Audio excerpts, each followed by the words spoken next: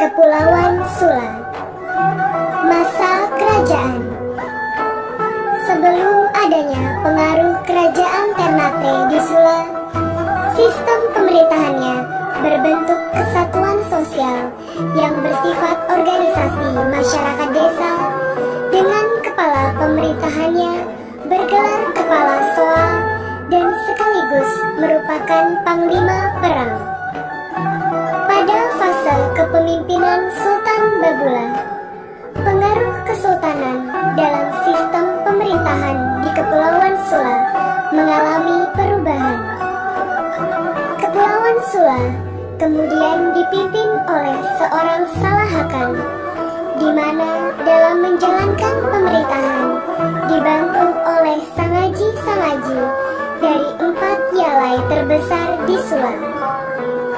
Baik Salahakan maupun sangaji-sangaji, semuanya dipilih dan diangkat atas persetujuan Sultan.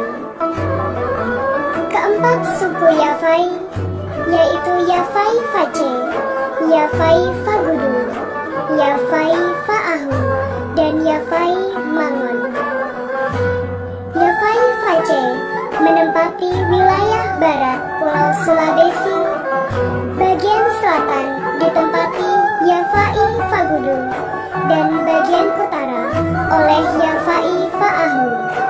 sedangkan di bagian timur ditempati Yafai Mangon. Pada wilayah-wilayah ini, mereka hidup berpencar, baik di pegunungan maupun di pesisir pantai, dengan beberapa keluarga berdasarkan kepala soa-soa tertentu. Mereka kemudian dikenal dengan nama Mata Pia Sula atau orang Sula yang di dalamnya termasuk masyarakat Fogi yang waktu itu masih mendiami daerah pegunungan. Masa kolonial Belanda Masuknya Belanda pada tahun 1909 maka Kepulauan Sula dijadikan Order of Dealing dengan kepala pemerintahannya disebut Controller dan berkedudukan di Sanana. Berdirinya Order of Dealing dengan sendirinya mengakhiri kekuasaan Salahakan beserta Sangaji-Sangaji.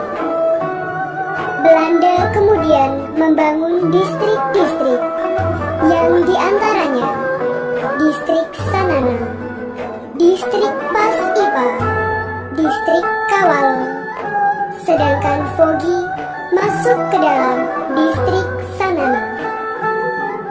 Guna menghindari perpecahan di tengah masyarakat akibat politik divide et impera yang sering diterapkan oleh Belanda.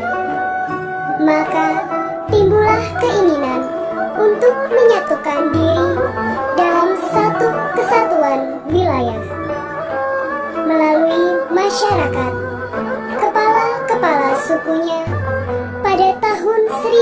1911 mereka menyampaikan kepada Sultan dan Comptroller Belanda.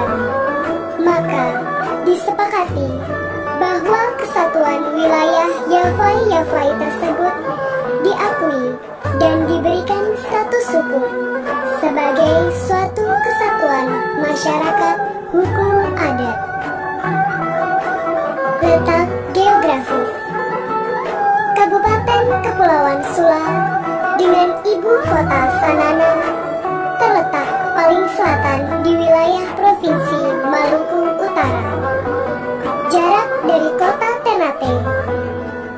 kota provinsi, sekitar 284 km. Dapat ditempuh melalui penerbangan udara dan pelayaran laut. Wilayah sebelah utara berbatasan dengan Laut Maluku.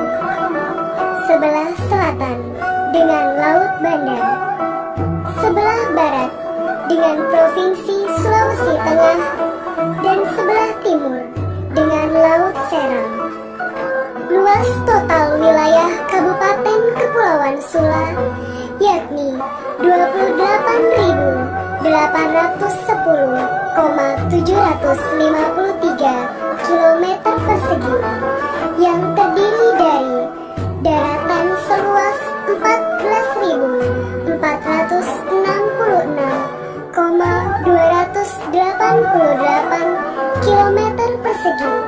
atau 50,21 persen dan lautan seluas 14.344,485 km persegi atau 49,79 persen. Kabupaten Kepulauan Sula memiliki 19 kecamatan dan 148 desa dengan jumlah penduduk sekitar 155.000 jiwa. Potensi sumber daya alam Kabupaten Kepulauan Sula meliputi pertanian, perkebunan, kehutanan,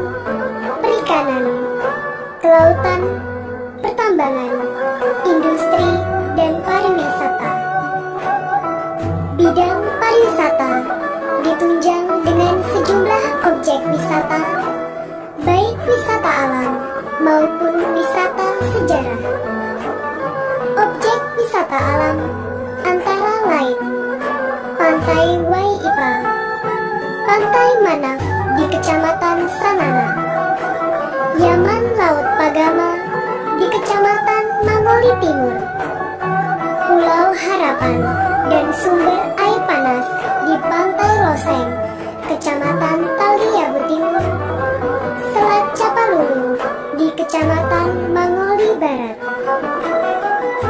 Sedangkan untuk objek wisata sejarah antara lain meliputi air kalimat dan pasir anjing di Jorjoga, Gunung Kukusang, dan Goa Mananga di Kecamatan Taliabu Barat,